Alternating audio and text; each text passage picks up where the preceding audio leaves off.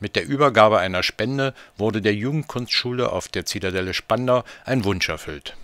Wenn es Menschen gibt, die Geld verdienen und dennoch sagen, naja, ich habe gut verdient und ich möchte jetzt was für die Allgemeinheit tun, dann ist das eine gute Sache, finde ich immer okay, aber dann sage ich auch immer, tue Gutes, aber rede auch drüber. Und in diesem Fall habe ich gesagt, wenn der Herr Laukert, das ist der Mann hier, der äh, als Spender für drei Einrichtungen unseres Hauses, einmal der äh, Jugendkunstschule heute hier, der Jugendgeschichtswerkstatt und der Gartenarbeitsschule in Spandau äh, einen größeren Geldbetrag zur Verfügung gestellt hat, um etwas, was sie sich wünschen oder was sie benötigen, dann anzuschaffen.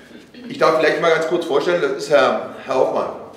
Wer ist Herr Hoffmann? Herr Hoffmann ist der Urvater dieser Jugendkunstschule, ein einzigartiges Modell. Meine Nachfolgerin, die in der Leitung der Jugendkunstschule sind, Frau Katrin Weber die dunkelhaarige Dame und die etwas blondere Dame ist Frau Gerlinde Scholz, die das als äh, Doppelspitze hier betreiben. Wir bieten Kindern und Jugendlichen in, der, in ihrer freien Zeit, das heißt nachmittags und vor allen Dingen an den Wochenenden, äh, diverse Möglichkeiten zu bildnerischem Tun. Malen, Zeichnen, Keramik, äh, Ton, Fotografie, Film, alles, was im Bereich bildender Kunst zu tun hat.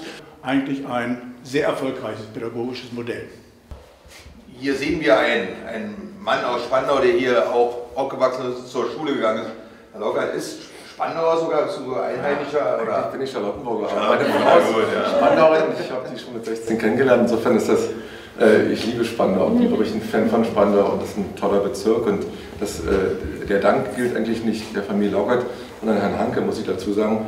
Weil er, ja doch, das muss man schon mal einmal gesagt haben, weil äh, wir haben gefragt, wir wollen gerne was für Spandau tun, wir wollen eigentlich mehr so einen Sportbereich in Richtung äh, Fußbälle, Handbälle und das Ganze.